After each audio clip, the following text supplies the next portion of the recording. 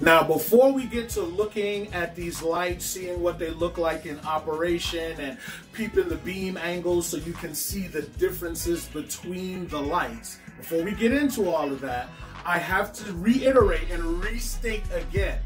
Do not let these guys that have sponsored channels where they get gear sent to them from manufacturers tell you that, oh, you shouldn't buy anything from China because all this stuff is made in China.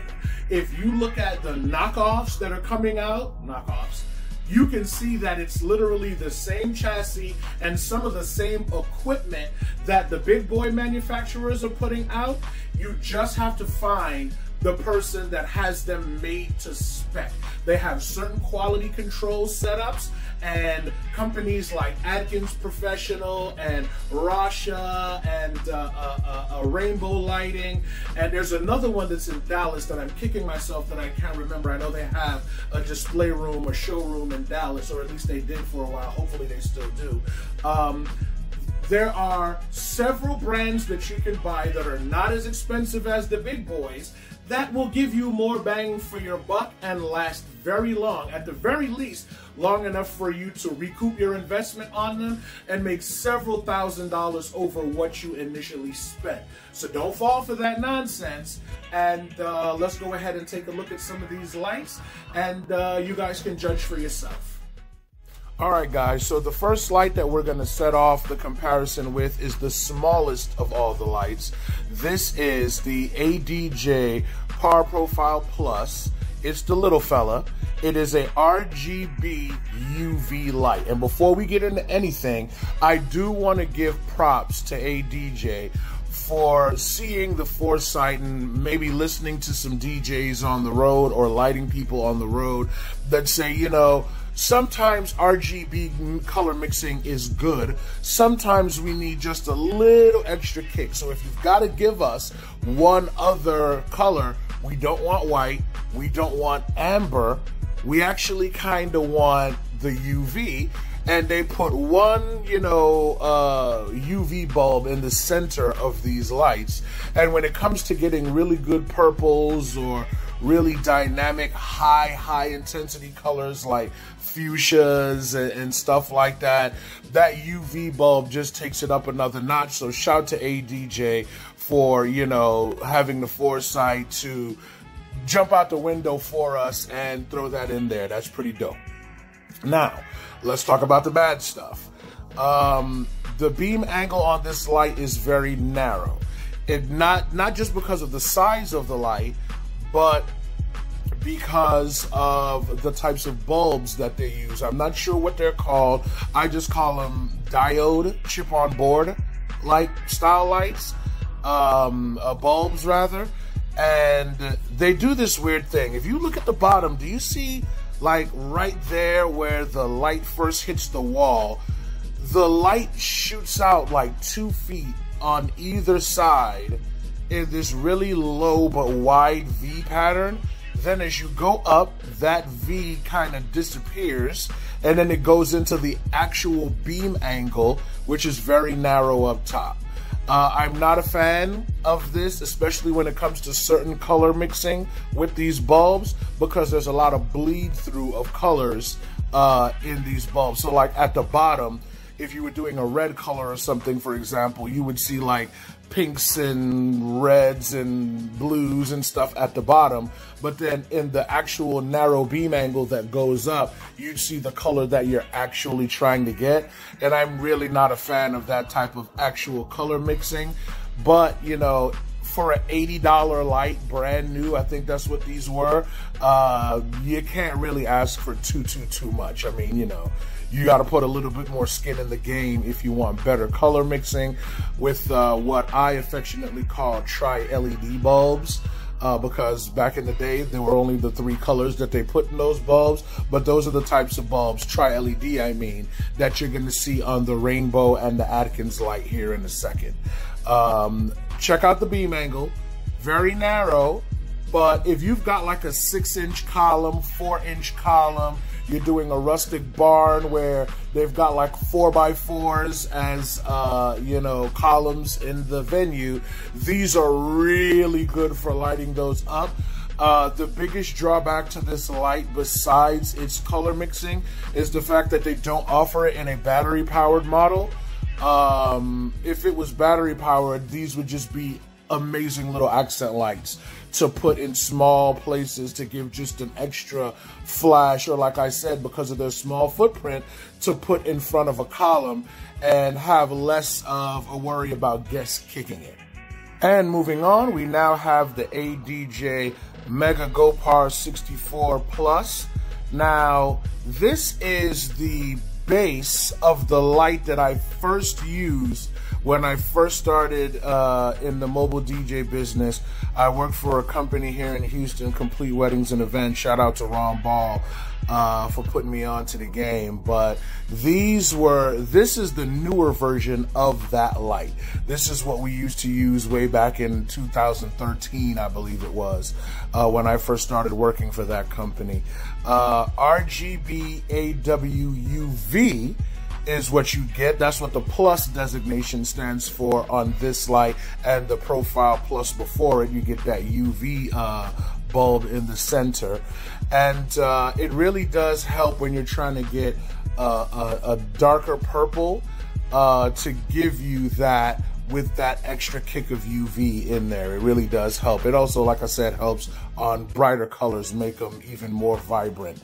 Um, but as you can see at the very base, it has the same problem that the Par Profile Plus has with that weird wide splay at the very base of the light. Um, again, I believe that has to do with these types of bulbs because you just do not see that with the tri-LED style bulbs. You just don't see uh, that weird splay at the bottom. And then we have our beam angle, which is obviously wider because this is a bigger light with more bulbs in it. But by comparison to the big boy lights, again, this is still a pretty narrow beam angle. Pay attention to the hot spots on the light. Uh, specifically in the main part of the beam angle, look at how the color washes, kind of sort of from left to right.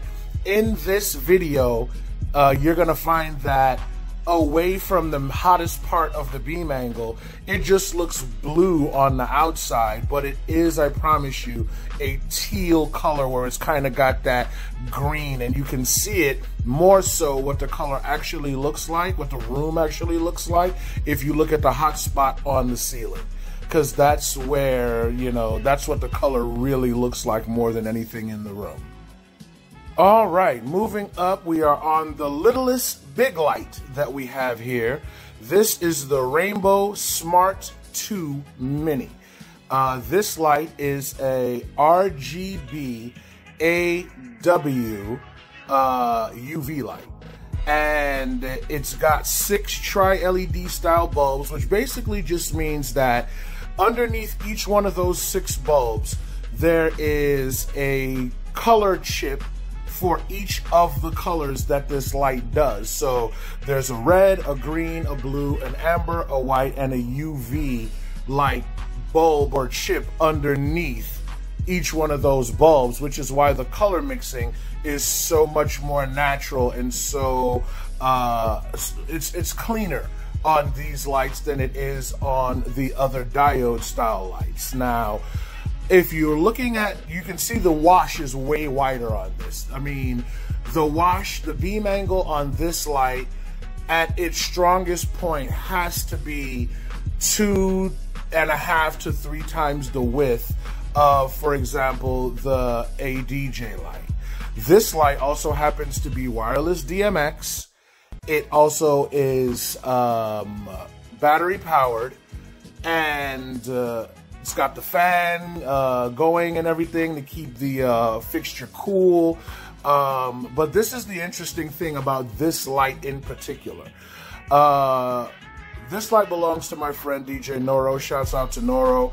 Uh, I think he said that he got these lights for like on sale for like $180 a piece, $185 a piece.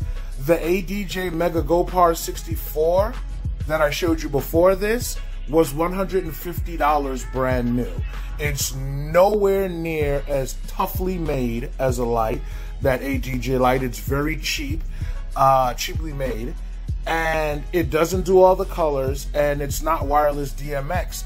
So depending on where you get these Rainbow Smart 2 lights from, for 30 something to 40 something dollars more per light, I mean, you might as well go ahead and get the rainbows. There's only one issue that I have with this light. Let's take a look right there. See how much wider the hotspot is on the ceiling than it was with the Profile Plus and the uh, 64 Mega Go 64 uh, Plus. Yeah, it's uh, a lot brighter light, a lot more coverage, much better wall wash. The only issue that I have with this light is, for some reason, a couple of the diodes are switched backwards. As we all know, the designation for these lights is RGBAWUV. On this particular light, it's RGBWAUV. They swapped the amber and the white chip.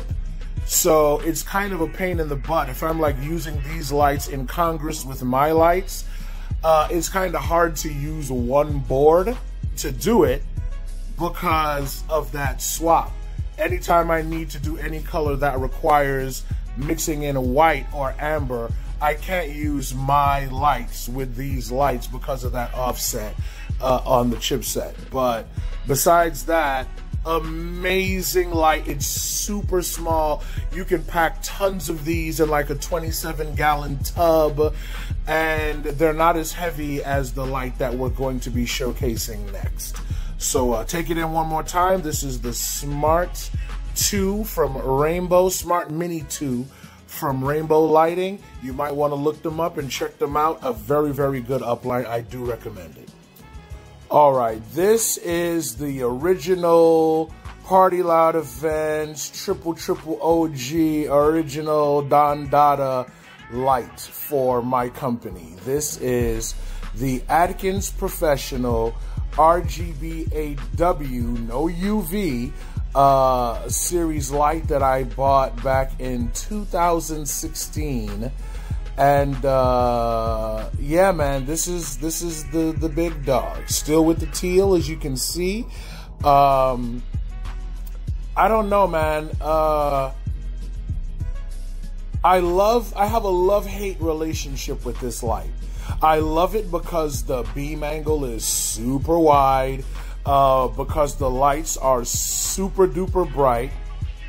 But the issue that I had with the original light, um, just construction wise, is I hated that the antenna was set up on the outside. To this day, a lot of my antennas are pretty banged up. And um, yeah, I'm not the hugest fan of that. I'm glad on the Mark II to this light, uh, which I have six of so far, that they tucked the antenna away inside the frame. Uh, that was great that they decided to do that. Uh, there's not that many differences, in my opinion, between the Mark 1 and the Mark 2. Uh, people at my events cannot tell the difference between, oh, this light looks a little bit different. So that's all that matters to me. Uh, this light is very heavy.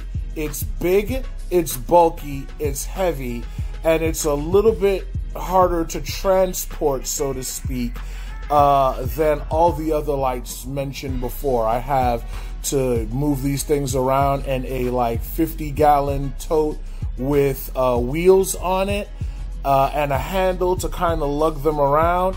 And even there, it's like pulling around a 180 pound dead person. It's very, very heavy uh, moving these around. So while my eyes and the eyes of many of my uh, clients and their guests love these lights, my back and my legs absolutely positively hate them. In fact, in looking at these lights now, while this light is definitely brighter higher up in the wash on the wall than the rainbow light is, I am seriously considering just getting a couple more of these Adkins lights, but the version 2s and then I'm thinking my next light is probably going to be, you know, that I buy in bulk is probably going to be some of those rainbow lights. because I can move so many more of those around than I can with these. And the footprint is just smaller and all that good stuff. I still love these lights. Do not get me wrong. I do love them. The output they put out is crazy. Uh, using them outside to light up buildings and stuff. It's a really, really good look like I did at this one party here. But I'd be lying if I said at the end of the day that the weight of those lights doesn't have me running for the hills sometimes, depending on the situation and where I have to use them. I do not like to use these lights to light up columns because they throw off so much extra uh, light to the left and right of a 10 inch column that they can be kind of blinding. Um, I always have to shoo people's little kids away because, of course, uh, parents don't watch their kids at weddings and uh, these events, and their kids come over and they literally look right down into the light. And I'm like, where is your mother and father? Like, this is not a good look, my guy. I need you to move away, get away. Then, of course, you look like the bad guy, but I'm trying to save your baby's retinas, you know? So, again, Adkins Professional uh, uh, RGBAW. Oh, and for those of you that are thinking, why not the UV? They do make now, oh, I always have made a UV version. I just didn't have the money for it when I was starting out, man. And now these lights are cheaper. I don't even know if they make a non UV version in the latest version of these lights. I think all of them are just UV now. I could be wrong because uh, even the Mark II that I have, uh, the six Mark IIs that I have, I got those a couple of years ago as well. So, yeah, just again, there are options out here uh, at between, let's say, 200 and 250 a light, where you get battery powered um, wireless DMX lights that straight up go head to head with and or put some of the big boys to shame. Made in China, uh, specked out by a company in America with quality control and design. And you don't have to spend $400 a light to get a good light that will make you money for four or five years. Goodness knows these have. These have definitely been worth their weight, and it's a lot of weight in uh, good old American greenbacks for your boy. So just something to consider when you're out here looking at lighting. Uh, do your due diligence, do your research. Rasha um, uh, uh, Adkins Professional, Rainbow Lights. There's quite a few companies that have these lights already in America that you can get for a much more affordable price with a lot more functionality and universal usage than, you know, some of the big boys.